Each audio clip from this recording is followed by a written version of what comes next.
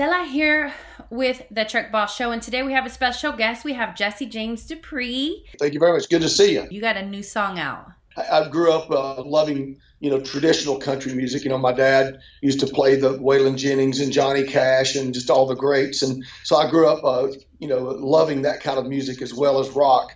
And uh, I've been stretching out over the last year with a side band called uh, Jesse James Dupree and Dixie Inc and uh, we actually just went out and about a month or so ago went out and did a couple of weeks worth of dates as Dixie Inc. and uh, just had a great time and a great run. I've got an album in the can of, uh, of music that I've recorded with the Dixie Inc. guys and um, ready to get it out as soon as I can. But right now, with uh, everything that's going on with the supply chain uh, needing uh, to stay strong and, and, the truck drivers pulling their weight and more than their weight, making it happen literally. Um, we have uh, stopped for a minute. We wrote a song called "It Didn't Fall from the Sky," and uh, it's it's something I'm very proud of. And uh, recorded it, and we just just now just releasing it and you guys are going to be one of the first to get your hands on it and play it for everybody. Did you write the song alone or was there others that collaborated with you on the song as well? I was practicing social distancing and uh, wrote it all by myself. But, uh, but, i did slide the guys in uh, one at a time and six foot apart and we laid it down. So tell me what goes into um, writing and producing a song well, it depends. I mean, sometimes it can uh, it can be quite a, a process and, and, take quite a while, but uh, sometimes it just falls together. This this song, uh, the tribute to the American trucker that, that we wrote, is called "Didn't Fall from the Sky." It just happened to fall together really quickly, and not only did the songwriting fall together really quickly, but uh, everybody that, that, participated in the recording, Joey Huffman and and Roman Glick and my son Nigel on drums, and Roman was on bass, and Don Wayne Reno um, uh, on uh, banjo, just a legendary Don Wayne Reno, and and um, and uh, uh, Kenny Kilgore on the guitar just did an amazing job. Everybody came in and just uh, just went straight to the right parts. I mean, it was took very little producing. I mean, everybody just seemed to feel the right part for the songs. With of course this COVID nineteen outbreak that's going on right now, and, and it's affected your band.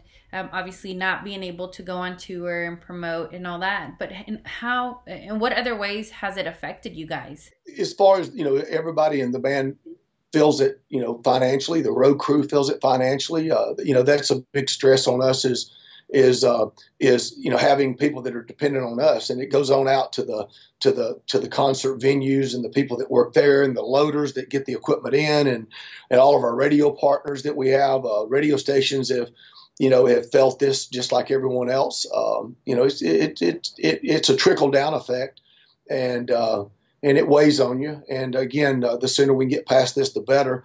Uh, you know, it's a very serious virus. Uh, at the same time, you know, everybody's ready to, to, to draw lines and argue with each other about whether or not we've overreached or overstepped with, you know, uh, with with the methods that we're taking, and um, it only his, only history will tell.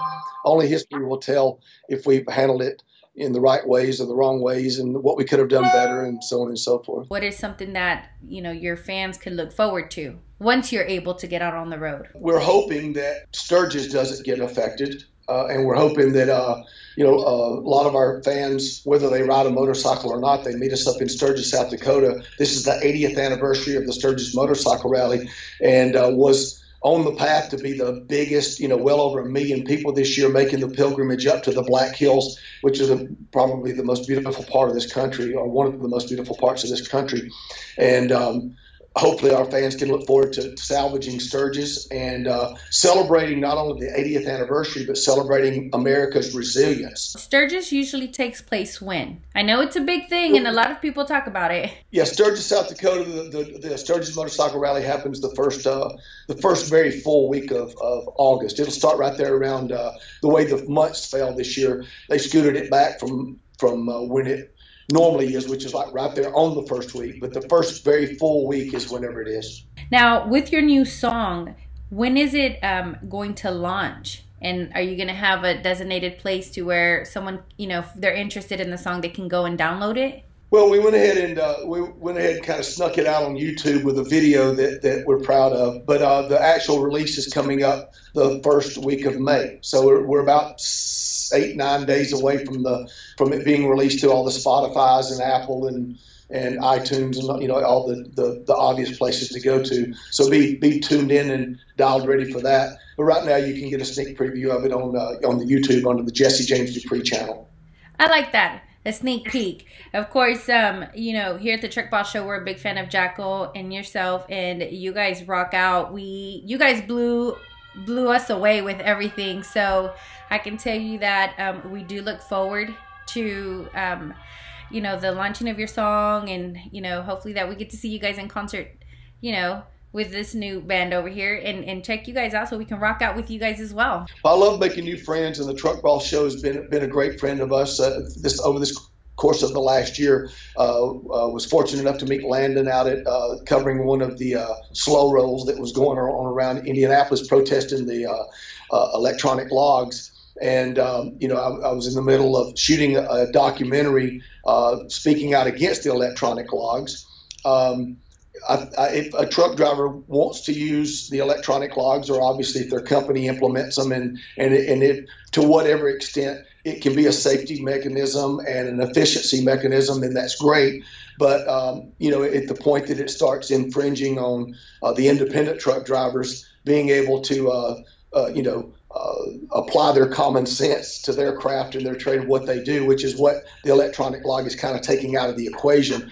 And I think that you know that that's a bit of an overstep because I think even the even the company trucks would uh, would need to be able to depend on the truck drivers having some common sense of when and what to do when they're out there pulling an 80,000 pound plus load. So um, you know I'm not a fan of the of the electronic logs unless uh, unless it's, it's it's some something that the drivers and the, and the owners are wanting to use. I, I, just don't like the overreach of the government mandating them. Uh, not that um, you know that I own a truck today, but I have owned a couple of tractor trailers in the past, and I've got a lot of great relationships in the truck uh, in the trucking community. And uh, more than anything, I just see the effect that it's having, you know, the electronic logs and other overreaches by the federal government. I see the effect that it's having on uh, the uh, the ecosystem of the truck drivers. Uh, you know, truck driving is something that generally has been passed down through generations. You know, kids grew up wanting to be like their dad and drive a truck, and now I've seen situations where you know fathers are telling their sons or their daughters, "Yeah, you don't want to do this,"